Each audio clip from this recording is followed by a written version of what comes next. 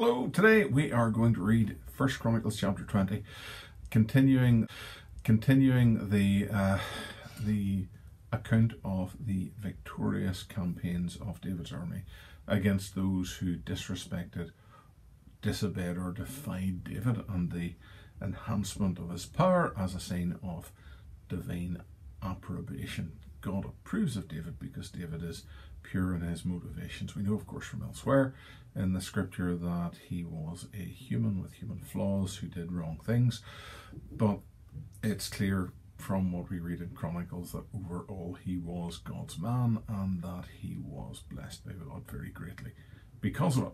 First Chronicles chapter 20, this is God's word. And it came to pass that after the year was expired, at that time that kings go out to battle, Joab led forth the power of the army, and wasted the country of the children of Ammon, and came and besieged Rabbah. But David tarried at Jerusalem, and Joab smote Rabbah and destroyed it. And David took the crown of their king from off his head, and found it to weigh a talent of gold. And there were precious stones in it, and it was set upon David's head. And he brought also exceeding much spoil out of the city.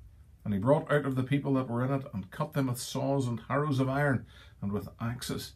Even so dealt David with all the cities of the children of Ammon. And David and all the people returned to Jerusalem. And it came to pass after this that there arose war at Gezer with the Philistines, at which time Sibbecai the Hushathite slew Sippai, that was of the children of the giant, and they were subdued.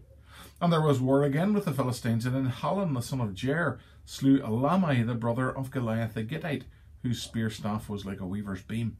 And yet again there was war at Gath, where was a man of great stature, whose fingers and toes were four and twenty, six in each hand and six in each foot and he was also the son of the giant. But when he defied Israel, Jonathan the son of Shimea, David's brother, slew him. These were born unto the giant in Gath, and they fell by the hand of David and by the hand of his servants.